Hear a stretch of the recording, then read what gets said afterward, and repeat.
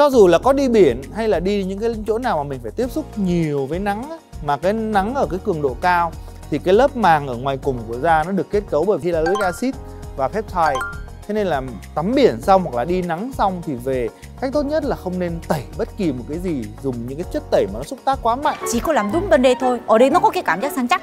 Ở đây thì nếu như anh đi du lịch thì anh sẽ sắp xếp những cái đồ đó nó ở mức độ nếu như có thể nha dạ. ở mức độ cơ bản nhất. Dạ. Vâng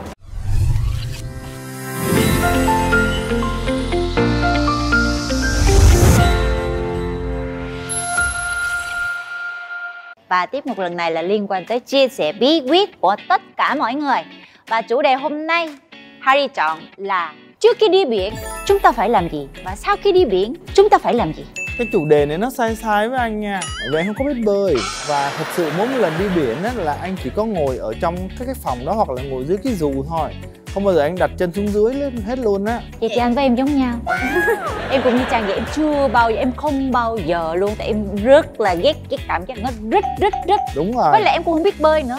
Em chỉ có bơi trong cái hồ bơi. Lúc mà chồng em cõng em đi thì em mới chịu em đi xuống còn ngoài ra thì em không bao giờ chịu đi xuống. Bí quyết uh, đi biển mà vẫn đẹp của Nam Dung là đừng bao giờ đi biển. Đừng bao giờ đi biển là đừng bao giờ đi biển trời ơi trời. Anh ơi bây giờ là hả? Mùa này là mùa người ta đi biển rất rất rất rất rất là nhiều. Thì trước khi mình bàn với nhau thì mình sẽ hỏi uh, các cô gái ở đây là trước khi đi biển thì chuẩn bị cái gì ha? Ôi nhìn vô đây là mình nghĩ là bạn nào là sẽ hay thường xuyên đi biển ta? Chắc là huyền hỏi ờ, bạn uh, bạn đang ngồi đó. Em có đi biển không? Rồi trước khi đi biển thì em sẽ chuẩn bị những cái bước như thế nào? À, dạ em chào anh chị. Em là min ạ. à, em có hay đi biển.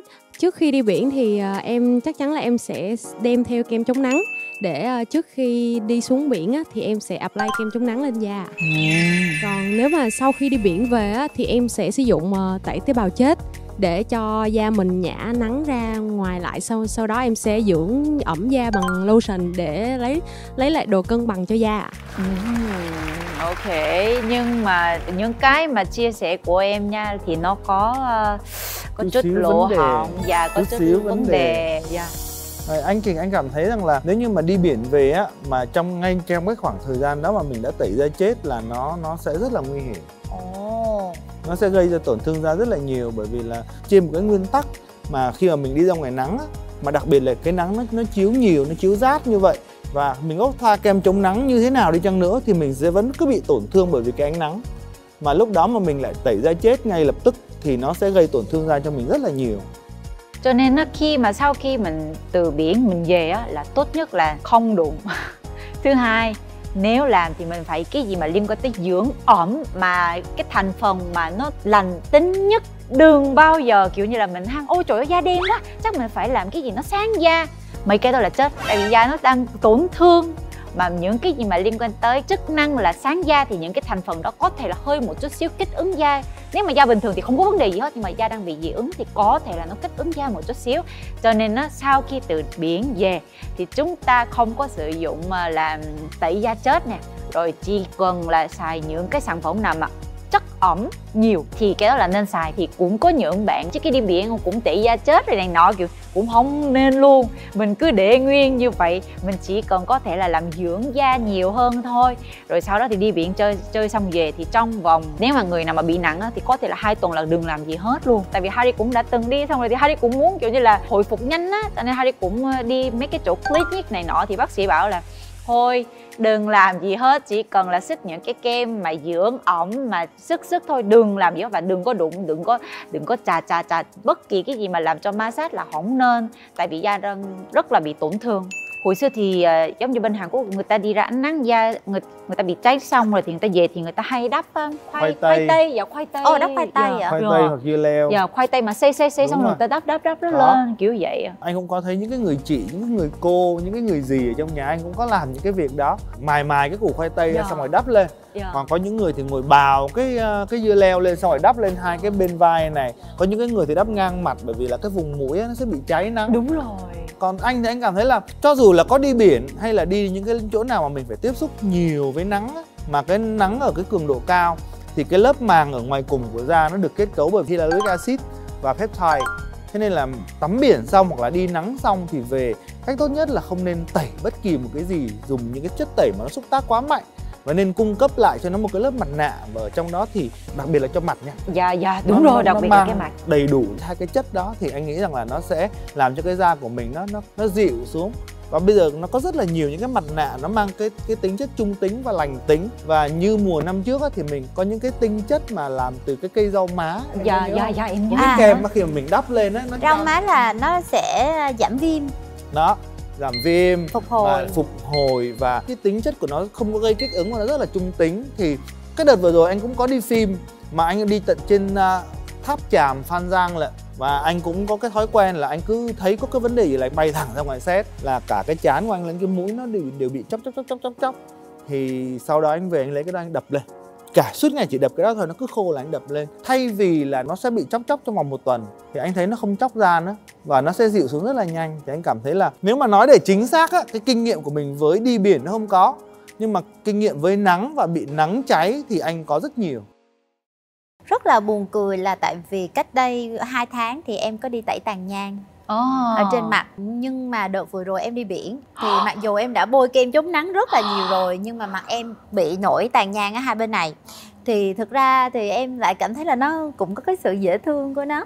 Ô dễ, dễ thương ở đâu em dạ không nhìn nó kiểu như là nó hơi ửng ửng ửng mà nó hơi tàn nhang giống như là đôi khi mình trang điểm thì mình sẽ vẽ những cái tàn nhang mà dạ dạ dạ dạ thì bữa nay em có tàn nhang thiệt luôn nhưng mà đôi khi em cảm thấy là một khi mà mình em đã ra biển rồi cũng nên tận hưởng một chút xíu. Thành thử ra là đợt vừa rồi em không quan tâm nữa em chơi luôn.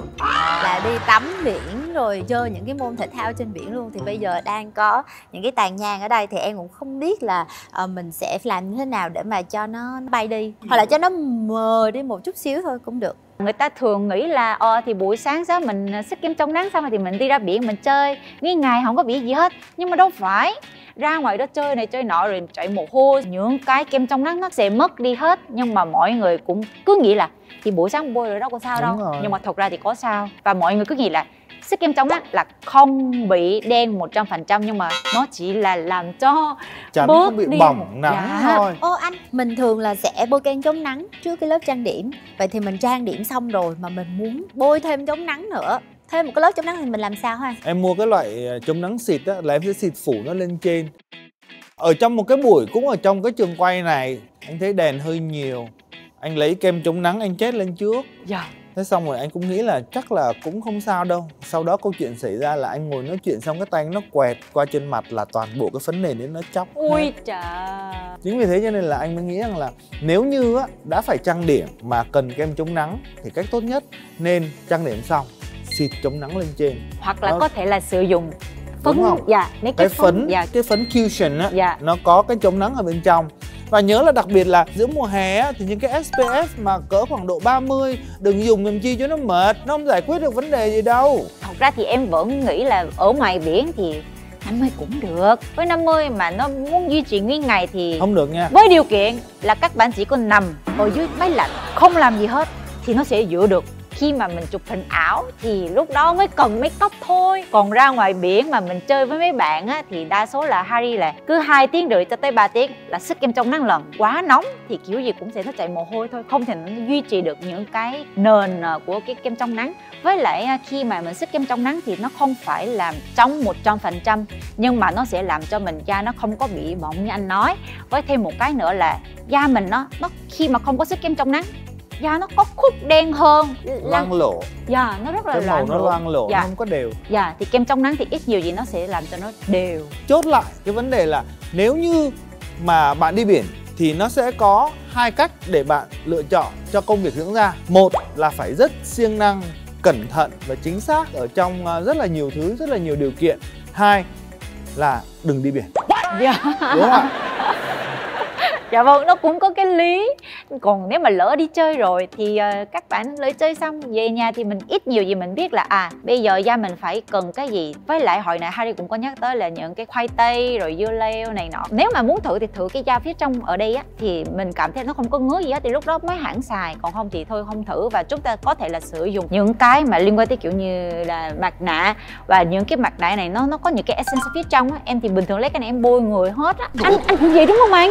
Trời ơi ơi mỗi lần đắp mặt nạ xong mà thấy là còn cái tinh chất là em thấy phí lắm luôn bắt đầu đúng chứ. rồi em bôi em bôi lên cổ nè khi mà đi biển thì chúng ta cần phải chú ý cái đầu tiên đó là chính là kem chống nắng cái SPF của kem chống nắng và Dạ. cái thời gian cũng như cái liều lượng để mình sử dụng kem chống nắng để mình không phải là để tránh cho nó không đen đúng không dạ nào? đúng rồi mà tránh cho nó không bị bỏng rát không làm cho da của mình bị bỏng với ánh nắng và đặc biệt là những cái ánh nắng ngoài biển nó khá là mạnh việc thứ hai nữa là trước và sau khi đi uh, tắm biển về xong là đừng tẩy da chết. Dạ. Và không đắp những cái gì nó kích ứng lên trên bởi vì cái làn da của mình ở dưới ánh nắng nó mạnh là nó đã bị ảnh hưởng. Đặc biệt là cấp ẩm cho da. Cấp ẩm cho da thì không chỉ đơn giản là uống nước mà là cần phải bỏ lên trên đó những cái dưỡng chất nó lành tính nó mang giống như kiểu hyaluronic acid rồi peptide để cung cấp lại cho cái lớp màng nhờn trên da. Nó được à, cung cấp đầy đủ gọi là treatment nó Dạ. gọi là điều trị lại nó sau có khoảng thời gian là mình đã vui chơi. Anh lại còn có một cái cái một người bạn á còn như vậy nữa cơ mua thuốc chống nắng uống luôn. Trời, uống cả thuốc chống nắng và bôi cả kem chống nắng khi đi biển luôn. Em em không cái này rất em, là nên vậy hả? Là em có uống thuốc chống nắng. Ồ. Ờ, những hôm nào mà à, hoạt động ngoài ngoài nắng nhiều thì em sẽ uống Ui vậy thì em cũng khá là quan tâm đến những cái đó nhờ. Dạ tại vì ờ, thường công việc của em thì là em chơi thể thao ngoài nắng và em đánh tennis ngoài nắng. Ồ. thì là phải chống nắng rất rất là kỹ. Ôi mà nói chung là anh ơi muốn làm đẹp nó khổ quá đúng ha. rồi. Như mình cũng biết á để dưỡng da để chăm sóc sắc đẹp được á với cái người yêu thích á thì nó là một cái phần thưởng. Bởi vì á, họ bỏ công ra chăm sóc. Cái đó đúng anh. Còn đối với những cái người làm biếng đó, thấy nhiều bước quá thì thật sự chăm sóc da nó là một cực hình một cực hình không những là cho cái cái công việc cứ phải bôi hoài mà nó còn cho cả cái trí tuệ nó vì đọc cái gì đọc hoài. Không thích mà đọc hoài có nhớ gì đâu. Nhưng mà đúng là nhiều khi em cũng thấy lười đúng không chị? Lười có những chứ. ngày đi làm về rất là lười dưỡng da nhưng mà mình nghĩ á là trời ơi sau này mình sẽ hối tiếc nếu như mà ngày hôm nay mình không có dưỡng. Cho nên là làm gì thì làm tối và lúc nào là em cũng phải đầu tiên là phải tẩy, tẩy trang thật là kỹ. Và ví dụ như là mình có thể là không bôi serum hay này kia nhưng mà mình vẫn phải bôi kem dưỡng ẩm. Đúng là rồi. mỗi ngày mỗi ngày không có dám lười. Nhưng mà do không dám lười cho nên cứ trẻ mãi. Đúng không? Và đó chính là phần thưởng của các cô gái chăm chỉ Dạ. khi dưỡng da. Và đặc biệt đối với Harry á thì đấy là nó được mua bởi rất nhiều tiền. Nói chung là lời dù sao cũng lời đấy. Đầu tư cho bản thân là không bao giờ sợ lỗ đúng, không anh? rồi đúng rồi đó. Đầu tư cho nhan sắc là luôn luôn không bao giờ mất giá. Em cũng thấy vậy. Miễn là bản thân mình yêu mình. Nói chung là phụ nữ cần thiết nhất yêu bản thân mình và mình phải luôn luôn tự tin về bản thân mình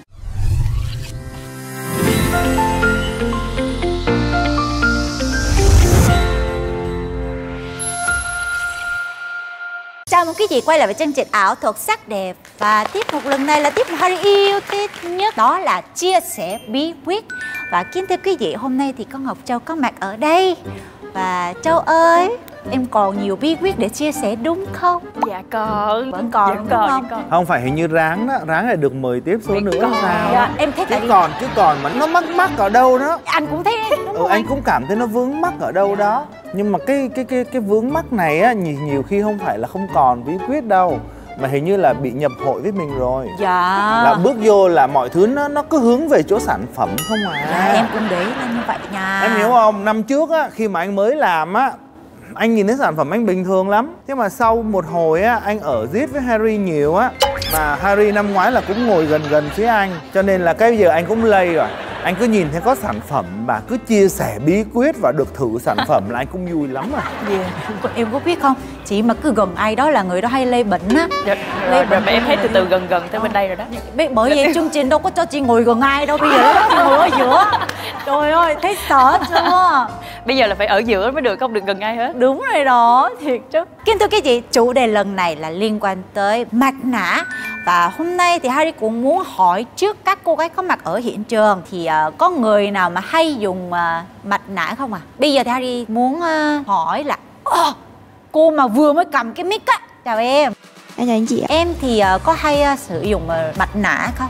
Dạ có ạ. thế thường thường em xài mặt nạ ở trên mặt á là em hay ờ, chú ý tới cái công dụng nào với các cái phần nào ở trên da mặt Dạ đa số là em để ý đến công dụng như kiểu là mờ thâm với cả trị mụn ạ. Nếu mà liên quan tới mật thâm thì em sẽ thích những cái thành phần gì ở trong cái Dạ sản phẩm đó? có sẽ có BHA, vitamin C. Với cả trị mụn thì sẽ có những cái thành phần như kiểu cúc la mã rồi là những cái thành phần mà giảm mụn. Ừm, Em thấy đa số là những cái mà liên quan tới trị mụn á thì em thấy đa số là có những cái sản phẩm mang tên là tea tree Ừ. tea tree em nghe nói là tràm trà. Tràm trà để làm cho sạch mụn Sạch này dạ. rồi à, làm cho mụn nó đỡ sưng viêm này xong rồi để làm à, ngay như là nó có những cái chai tinh dầu của tràm trà khi mà cái cục mụn nổi lên nó chấm cái pạc cái ngày hôm Dạ. sau nó cũng sẽ dịu đi Dạ, bớt. như xịu dịu dịu thì dịu. cái cái cái tràm trà này cũng là một cái rất là thú vị. Dạ vâng. Và thật sự là lúc trước thì anh cũng không tin tưởng nhiều lắm đâu. Dạ. Thế nhưng mà năm năm trước á à, nhờ Harry mà mọi người được tặng quà và cái cái ngày hôm đó là cũng tràm trà và anh Dạ. xài cho tới bây giờ luôn dạ thì đặc biệt là anh thấy là công nhận là từ sau đó anh cũng bớt bị lên những cái mụn mụn mụn mụn mà mùa này có không em Anh ơi, anh biết không? Anh có nghe tin gì chưa? Sau khi em quay chương trình đó xong em có xin xin hãng luôn và họ có cho em cái sản phẩm đó. Em về nhà xài em thấy thích quá. Em nghĩ là quyết nhất định là phải qua bên Hàn Quốc mua. Hết hàng. Tới bây giờ em vẫn chưa mua được cái đó luôn. Vậy em nghĩ là chắc là bên ờ, nhãn hàng tặng cho em một cái không đủ tại vì em xài nhanh quá. Thì em nghĩ là nếu cho em thì phải cho gấp đôi. nhưng mà hạn. nhưng mà năm nay thì có thêm em nữa thật ra đó là do em do em nói về cái những cái mà liên quan tới cái mụn này nọ đó xong rồi em nói là em hay hay xài những cái mặt nạ mà nó liên quan tới dạng kiểu như là nó dịu cái mụn này nọ thì chị muốn giới thiệu một cái sản phẩm dành cho em. Đó là một cái mặt nạ. Nói chung là mặt nạ thì nó rất là nhiều rất là đa dạng rất là phong phú. Thì có những cái mặt nạ thì giống như các bạn biết là bằng vải chẳng hạn hoặc là bằng giấy chẳng hạn hoặc là bạn những cái gel chẳng hạn hoặc là những cái nào mà giống như là cái dạng cái cream mà nó làm ngủ luôn chẳng hạn. Nó rất là nhiều thứ. Còn cái này á, là dạng kiểu như là uh, mặt nạ đất sét thì ở đây nó có cái cả tea tree và cả sika nữa. Thực ra sản phẩm ở bên Hàn Quốc anh rất nhiều sản phẩm mà liên quan tới trị mụn hay là làm cho dịu xuống Dịu da đó. xuống. là sika rất nhiều. Nhưng em không ngờ sika tiếng việt là rau má. Rau má đúng rồi. Em đâu biết đâu. Trời ơi, tại vì rồi. Sản phẩm họ không có đưa cho em cái sản phẩm này thì em không, không có nhớ sau em qua bên Hàn Quốc em cứ đọc sika sika thì em cứ nhớ bằng sika anh còn chung anh chung anh anh hiểu cái khúc này chưa phải nhớ thôi hiểu cái khúc nghĩa mà là người ta năm ngoái có cho này. rồi Dạ. nhưng mà chưa có đủ Dạ. xài không có đủ Dạ. đủ chỉ đủ, để đủ lâu cho nó nhớ dạ vâng Ồ, anh hiểu ý rồi anh hiểu ý em thì cảm ơn anh dạ nghe chưa ạ dạ. dạ biên tập đang rất là áp lực bởi Harry. Và khi mà xài cái này á, thì thật ra thì cái này nó làm cho cái lỗ chân lông cải thiện hơn rất tốt nha. Và làm cho những cái mà dầu đậu đen này nọ thì nó cũng giảm xuống đi rất là Dạ. nhiều. Và nói chung là cái này á là sao ta khi mà tại vì da Harry là khá là nhạy cảm á cho nên khi xài sản phẩm này á thì nó làm cho cái da của mình nó dịu xuống. Với lại cái này là thuần chay Dạ, cho nên Harry nghĩ là những người nào mà kiểu như là rất là yêu động vật thì người ta xài cái này thì người ta cảm thấy là nó rất là phù hợp cho bản Dạ. thân. em có thấy tại sao tại sao anh nhấp nhổm không sao vậy bởi vì đây là một trong những cái bí quyết mà anh nói là bí quyết chống già của anh á Ủa? tại vì khi mà em lớn tuổi á, là mặc định cái lỗ chân lông của em nó sẽ rất là lớn nó giãn ra đúng không và lại nhưng mà cái cái cái bề mặt da của em á tại vì nó mất đi collagen nó mất Dạ. đi độ đàn hồi cho nên nó lại bị mỏng Dạ. Cho nên là cái việc mà chăm sóc những cái lỗ chân lông lớn mà ở trên cái da lão hóa nó rất là cực. Dạ. Mà lúc trước anh cũng làm biếng chết mặt nạ lắm. Nếu mà dùng những cái sản phẩm này đúng á là em không có được lấy cái tay em móc nó đâu nha. Dạ đúng. Em phải lấy một cái dụng Cái cụ gì que, em lấy nó dạ. ra chứ không em ủ vi trùng. Trời ơi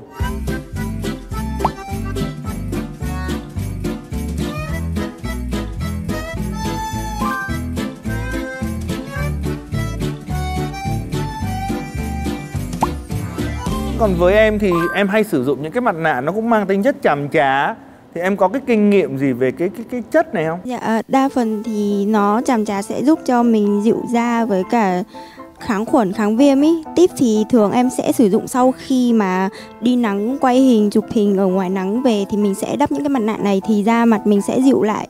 Không bị đỏ cũng không bị uh, mấy cái mẩn đỏ lên ạ. Hoặc là đắp trước khi make up thì lớp nền nó sẽ mịn hơn cái này thì anh anh đồng ý. Đặc biệt là cái mặt nạ mà dành cho những cái vùng mà lỗ chân lông hay là giờ làm mất da chết á, tẩy da chết mà đắp trước khi làm make up à, khoảng độ 15 20 phút thì anh cảm thấy là khi mà đánh nền lên rất là đẹp. Bạn này là bạn sử dụng thường xuyên với cả mặt nạ chăm trà thì là rõ ràng là nó làm dịu đi cái sưng cái viêm và cái nóng đó, đúng không? Cái da của mình nó nóng nó cũng sẽ dịu đi rất là nhiều khi mà em phải đi quay đi chụp ngoài về đúng không? Dạ đúng ạ Vậy thì anh nghĩ rằng là khí hậu toàn cầu á, đều nóng lên như vậy á, thì anh nghĩ là cái mặt nạ này cũng rất là phù hợp và thật sự là rất là cảm ơn em về những cái chia sẻ mà về à, mặt nạ bởi vì nó có rất là nhiều những cái thể loại mặt nạ ở Dạ. trên thị trường và cũng giống như những cái lần trước á mà khi mà Harry nói là cái gì nó cũng phải đúng và nó cũng phải đủ Dạ. chứ còn đừng có dùng tràn lan thì nó cũng không có tốt Dạ. bởi vì rõ ràng mặt nạ hoàn toàn có thể sử dụng nó giống như là một cách chữa trị hay là đối với anh là một cách à, chống đối với thời gian đó, Dạ, dạ. chống đối với tự nhiên đó không? Là làm sao để cho cái lỗ chân lông mà có lớn lớn rồi thì nó vẫn nhỏ nhỏ thôi ví dụ như vậy. Níu kéo tuổi xuân. Níu kéo lại chống Dạ. đối để níu kéo. Anh thì được cái là với những cái này thì anh sẽ có những cái những cái ngày Ừ. và đặc biệt là anh hay à, đắp mặt nạ ví dụ như là những cái mặt nạ dạng à, bôi thì anh sẽ đắp nó vào một cái ngày riêng Dạ. còn những cái mặt nạ dùng giống như mặt nạ giấy á, thì Dạ. nhiều khi anh dùng thường xuyên À. Không cái này em cũng đồng ý nha với với em á là da của em là đặc trưng là hỗn hợp mà thiên khô nên là cái mà em cần nhiều nhất là cấp ẩm cấp cấp cấp ẩm rất là nhiều thì em cũng giống như anh Trung đó là hở mỗi ngày em đều xài mặt nạ giấy. Để nó cấp ẩm bởi vì em thấy mặt nạ giấy nó cấp ẩm cấp tóc rất là nhanh. Đặc biệt là mấy lúc mà mình mà cần một cái lớp make up thật là mịn á thì khi mà mình đắp trước đó make up sau đó 15 phút mình make up lên cái lớp mịn, lớp nền nó mịn cực kỳ luôn. Rất là mịn luôn. Đó còn còn nếu như mà những cái mặt nạ mà nó thuộc về dạng mặt nạ tươi một chút nó có cái khả năng chăm sóc sâu hơn á thì thường thường em sẽ đắp là ba ba lần một tuần. Cứ cách ngày mình sẽ đắp nó lên cách ngày mình sẽ đắp thì nó sẽ giúp cho mình thẩm thấu được những cái tinh chất tốt hơn và giúp cho da của mình có một cái gọi là có một cái thời gian gọi là khỏe hơn một chút chứ nó không quá gấp gáp như là mặt nạ giấy. Chà, đúng là chịu khó là phải đẹp đó anh có thấy không? Và nãy giờ mình tám với nhau thì Harry nghĩ là cái à, mặt nạ của mình hồi nay bôi á nó cũng khô rồi thì cũng à, cần à, tẩy. Thì hồi nãy á, em có thấy á, là anh Trung làm ờ anh, anh Anh- Trung làm ảo thuật. Anh Nam Trung á hồi nãy có nói biên tập chắc là cái này anh lấy nha. Đó nhưng mà anh lấy thì anh anh lấy thì anh lấy nhưng mà vấn đề là anh Rồi, cũng cho anh- em mượn một À, giọt không thôi. em cứ yên tâm. Đến lúc này là thủy tiên nhập anh ngồi đúng hai giọt không hơn trời ơi trời ơi. Đó. Không cho đụng tới em có thấy không? Không cho đụng tới. Là anh lấy cho đó anh, phải lấy. cho chị. Dạ cảm ơn anh lau hai mặt nha. Trời lau phải hai mặt không được lau một mặt nha. Lau lau tiết kiệm nha. dạ vâng dạ vâng. Bây giờ sẽ bôi nha mọi người. Đấy. Dạ cảm ơn anh. Trời ơi anh tử tế quá. À, thôi chết anh Anh quên. tử tế Trời quá. ơi em em em em thoát ra khỏi người anh sớm quá vậy. Ê chà. Rồi bây giờ em có hiểu tại sao mà anh rất là thích cái tẩy trang này không? sao vậy anh Sạch bóng này mà. Siêu sạch. Ơi thật sự là Đúng nó hai siêu bông sạch. Đúng Mà- hai bông sạch bóng này nè thiệt rất là sạch luôn. Huy, và với lại anh cái này á nó làm cho em nó có cái gì đó. Anh có hiểu không? Tức là cái em nó đang sồ đi thì nó có cái cảm giác là đang Nó săn chắc lại săn chắc lại. lại. Nó có cái cảm giác là săn chắc lại. Chỉ có làm đúng bên đây thôi. Ở đây nó có cái cảm giác săn chắc.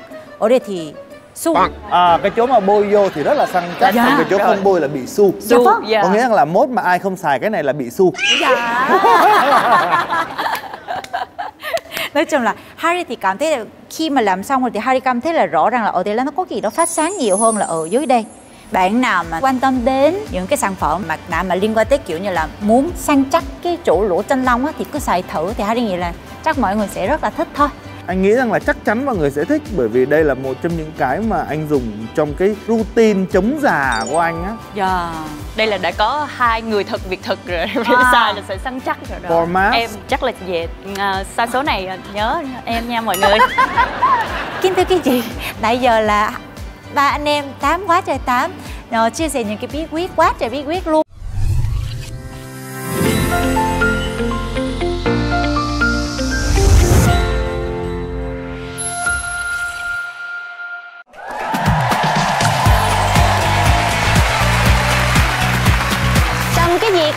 chương trình ảo thuật sắc đẹp. Và kính thưa quý vị, tiết mục lần này là liên quan tới chia sẻ bí quyết chủ đề của hôm nay Là trước khi đi du lịch chúng ta phải chuẩn bị mỹ phẩm gì? Thật ra thì cái này thì đối với Harry thì quá là dễ. Còn đối với anh á thì ờ, trước khi đi du lịch để chuẩn bị được mỹ phẩm gì thì anh sẽ cần phải biết là anh được ở khách sạn mấy sao. Những cái hệ thống mà khách sạn 5 sao thì những cái đồ dưỡng da nó rất là ok. dạ, ok. Mình Còn không có đi- gì mình phải mang đi cho Đúng nó rồi, Mà chứ. đấy là còn chưa muốn kể đến câu chuyện là nhiều người quên không biết cái số mil á. Dạ Đi qua hải quan trời ơi lấy mất một cái chai dưỡng da thì thôi đời đau như cắt nước mắt đầm đìa à, Dạ vâng, thì dạ vâng mỹ phẩm đối với mình á nhiều khi nó là máu huyết nó là sinh mạng Dạ. cho nên là phải check trước check thật kỹ không rồi lại bỏ lại một cái món gì đó. Trời Ôi đau lòng chú. lắm chứ bộ đau dữ lắm. Trước khi mình chia sẻ tiếp thì mình Harry cũng muốn hỏi các bạn là à, cái bạn mà đang vuốt vuốt tóc ấy trước khi em đi du lịch thì em sẽ bình thường em chuẩn bị những cái mỹ phẩm như thế nào? Dạ em chào anh chị ạ, em tên là Phương ạ. Thì à, thường đi du lịch thì em sẽ mang các dạng chiếc nhỏ rất gọn. Em sẽ mang kem chống nắng, mặt nạ và các đồ skincare và đồ make up ạ. thì skincare thì có bao gồm có những cái nào À, dạ em sẽ có bước toner, serum và dưỡng à, ẩm cuối cùng để khóa lại. Sẽ có mặt nạ thêm để dưỡng ẩm cho da cấp ẩm thêm khi mà mình đi du lịch, ví dụ như đi biển, đi đồ để nắng á. thì cho chị hỏi thêm nữa là nếu mà em mang đồ make up thì em sẽ mang những cái thứ gì Em sẽ mang à, tất cả ạ. À, ví dụ như là kem nền, kem lót, kem dưỡng, à, rồi phấn mắt, phấn phủ, lớp khóa nền lại, chân mày, chút mascara nhiều lắm mà, kẻ eyeliner, son. Ủa nếu như vậy thì trong cái vali của em thì toàn là những cái đó là đã chiếm hết rồi Dạ em sẽ bỏ vào à, cái túi make up á, mình bỏ vô phân phân chia loại ra, xong mình đem đi du lịch đó rất là tiện lợi và rất là gọn luôn ạ. À vậy hả? Em chuẩn bị cho một mình em hay là chuẩn bị cho những ờ, đám bạn của mình luôn? Dạ một mình em, Hả? một mình em thôi. Một mình em thôi Dạ một mình em mà đi hai ba vali cũng được chị. Thà dư còn hơn là thiếu mà chị. à, Vậy à? Thật ra thì tại vì bản thân Harry thì lại là một người ờ, xài ké Xài kế Bản thân Harry á, nếu mà bình thường một mình Harry mà phải tự chuẩn bị thì chắc chắn kiểu gì cũng Harry cũng sẽ chuẩn bị như vậy thôi Nhưng mà Harry cũng có một người bạn mà giống như em á Cái gì cũng chuẩn bị, cái gì cũng có hết hết. Cho nên cái vali của Harry lúc nào cũng rộng rãi. Nó chỉ cần là mang mấy cái ờ, bộ đồ vậy thôi. Còn ngoài ra là ra ngoài đó. À bạn ơi xài cái mới xài cái mới xài cái mới Còn xài xài xài xài xài xài xài hết rồi. Kiểu kiểu vậy đó. Ví dụ như chương trình của mình á mà có đi đâu quay xa thì mình nhớ ở tách xa Harry ra nha. Mình mình không đi chung ừ, mà mình không nên đi chung. Chứ còn không á sang lại à, à, anh Trung ơi cho em miếng toner xong rồi à, Châu ơi có miếng son không? Cho chị mượn thôi không được đâu. Nhớ nha em. Dạ. Đối với anh á khi mà đi du lịch hoặc là đi làm Dạ. có một cái thứ mà bình thường ở nhà có thể là có những ngày xài có những ngày không.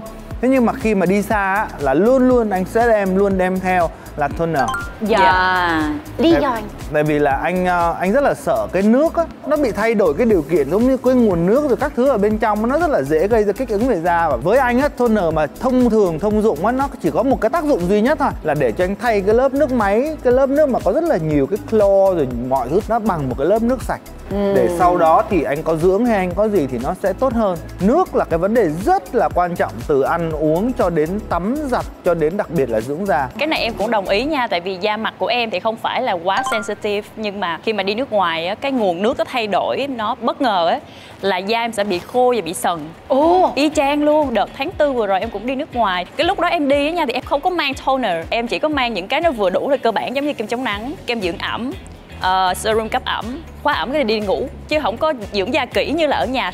Thì cái đợt đó em đi nha xài nước hai ngày thôi là da mặt em nó khô và nó sần lên hết luôn về đến Việt Nam ha là em phải mất một tuần để mà gọi là dưỡng da trở lại và kiểu cho da mình nó nghỉ ngơi để nó cân bằng trở lại thì nó mới lấy lại được cái nhịp độ bình thường. Mỗi một lần mà anh đi đâu á là kem chống nắng là coi như là mặc định nha. Kể cả là có đi châu âu hay châu gì nhưng mà cái thứ hai nếu mà đi mà đặc biệt là đi những cái chỗ mà đi biển hay đi xa xa ờ, đi những cái chỗ mà nó hẻo lánh chắc là anh phải chiết đến năm sáu cái chai nhỏ nhỏ là toner Dạ. Trời ơi, anh đang làm những cái mà chồng em luôn luôn làm Bởi vì chị mới nói là chị hay xài ké là tại vì chồng chị cái gì cũng chuẩn bị hết. Chị không làm gì hết trơn á. Dạo này em đang đi qua Hàn Quốc liên tiếp á. Cứ một tháng là một hai lần này em đi qua bên Hàn Quốc. Trời ơi, mỗi lần em qua đó khoảng chừng 4 ngày không sao Ngày thứ năm hoặc là ngày thứ sáu là cái chỗ trán này là cái mụn mà mấy cái li ti li ti li ti Ừ. nhỏ nhỏ nhỏ nhỏ. Tự nhiên nổi. Em đang lấy cái đồ mà kem dưỡng da của em mang qua Hàn Quốc em xài. Thế mà em vẫn Bị. sau đó thì Harry mới hỏi bác sĩ bác sĩ cũng có nói do môi trường cũng thay đổi do những cái đồ ăn cũng thay đổi. Tuy cô là người Hàn Quốc nhưng mà cũng đi qua đi lại đi qua đi lại á, cho nên nó sẽ nó bị như vậy. Với lại nó chưa có thích nghi với cái môi trường đó thì da nó sẽ bị một cái trouble. Harry phải đi ờ, cái chỗ mà đi dạng kiểu clinic này nọ Dạ. dạ làm cho nó cái ờ, da nó dịu xuống. Rồi thì Harry phải tìm kiếm những cái sản phẩm mới. Dạ. Thì lúc đó Harry mới biết được một cái đó là sản phẩm này. Harry biết đến cái sản phẩm này cũng là vô tình thôi. Thật ra thì thương hiệu La Patio nó giống như là người ta làm ra cái thuốc á. À dược mỹ phẩm. Dạ tức là có một cái, cái công ty dược phẩm. công ty dược phẩm công ty dược phẩm thu nga là rất nổi tiếng. Bên đó người ta phải đầu tư 9 năm để ra một cái uh, cái kỹ thuật. À. nhưng mà cái kỹ thuật đó là khi mà nó cung cấp nước á nó gấp 10 lần so với những cái sản phẩm bình thường. Oh. cho nên da Harry lại da rất là khô. Cho nên khi mà mình xài cái sản phẩm này thì nó cung cấp liền những cái chất ẩm á. Cho nên Harry cảm giác là ế nó cảm giác da nó dịu xuống. Tại vì yeah. ở đây cái, cái những cái sản phẩm cái này á gọi là Noscam thì Noscam 9 á thì người ta nói là người ta làm ra một cái kỹ thuật mới là nó vô cấp ẩm một cách siêu nhanh và nó làm cho dịu xuống những cái da mà những người mà đang bị sừng hay là bị nhạy cảm á thì nó sẽ nó giảm xuống liền ngay lập tức luôn. Bây giờ Harry sẽ xài sản phẩm này thử nha. Đó rồi để trên đây. Thì thật ra thì cái nhưỡng nước này á hơi sệt sệt một chút xíu nhưng mà cái màu thì nó lại rất là trong trên mặt thì không cần quá nhiều đâu nhưng mà phần tay thì mình phải à, xài nhiều hơn tại vì cái tay Harry luôn luôn khô nha mọi người. Và sau khi mà sức xong ẩm nó rất là ẩm nó trơn trơn một chút xíu nhưng mà cái trơn trơn này nó không có cái cảm giác là dầu mà là nó cái cảm giác là mịn mịn. Nói chung là nó rất là thích. Harry nghĩ là cái này á, là những người nào mà da khô á cảm nhận được là những cái chất ẩm của cái trong cái chai này á nó vô đây nó siêu nhanh luôn, rất là nhanh luôn. Hồi nãy nó trên trong một chút xíu, bây giờ thì nó lại hết rồi.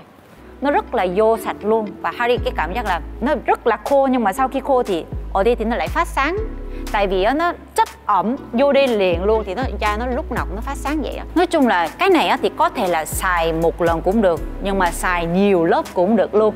Thì người ta có khuyên là xài toner xong rồi thì xài cái serum này. Sau đó thì mới xài những cái cream khác. Kiểu như da của em cũng vậy tức là hồi trước nha cũng trộm vía là cũng hơi khỏe khỏe tí. Nhưng mà sau này khi mà kiểu mình đi làm rồi mình make up thường xuyên thì em cảm thấy là bởi vì do mình make up quá nhiều và cái thời gian mình để make up ở trên mặt mình quá lâu đố làm cho da của mình bị tổn thương và nó không còn nhiều cái khả năng hồi phục như hồi xưa nữa nên là hở bây giờ kiểu chăm như là chăm em bé chăm kỹ sơ hở là dị ứng sơ hở là nổi tung lum luôn. Nếu như trường hợp các bạn đi nước ngoài và các bạn chỉ có mang được đúng ba cái thôi thì các bạn sẽ mang đúng những cái sản phẩm nào?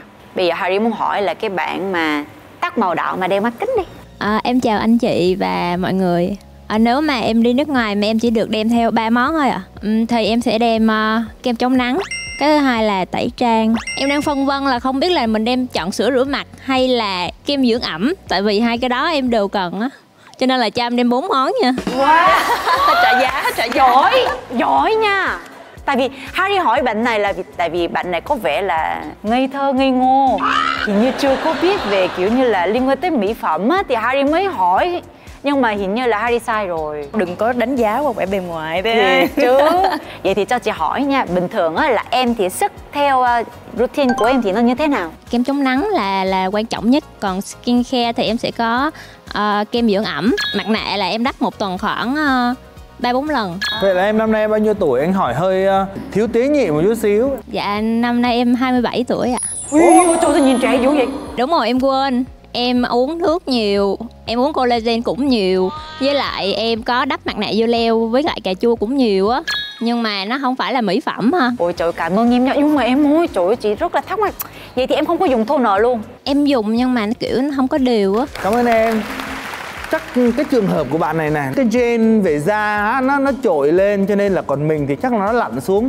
Mà anh là nó lặn sâu hẳn xuống mình là, là khỏi lặn kiếm sâu, đó. mình là lặn hơi xa. Cho nên là mình là 5777 cái routine mình cũng chỉ mong muốn là có được cái làn da như vậy thôi. Yeah. và nếu như mà ở trong cái trường hợp mà da như mình á mà đi du lịch là chắc chắn là phải rất là cẩn thận ở trong cái việc mà sắp xếp làm sao để đem đủ nhất yeah. Dạ. và anh thì anh cũng nghĩ rằng là đã đi du lịch ấy, trong một cái khoảng thời gian nó không quá dài á thì phải có một khoảng thời gian cho da nó thở thì anh nghĩ là nếu như anh đi du lịch thì anh sẽ sắp xếp những cái đồ đó nó ở mức độ nếu như có thể nha dạ ở mức độ cơ bản nhất dạ chứ anh cũng sẽ không uh, mang quá nhiều thứ như vậy thì với Harry thì cái gì cần thiết nhất để khi mà đi du lịch? Thật ra nha những cái mà liên quan tới ờ, gội đầu hay gì đó thì em sẽ xài của khách sạn. Những cái mà liên quan tới da thì em vẫn chăm rất là kỹ nhưng mà thông thường là tại vì em mua một cái sản phẩm gì đó, đó thì người ta sẽ đưa cho mình những cái sample.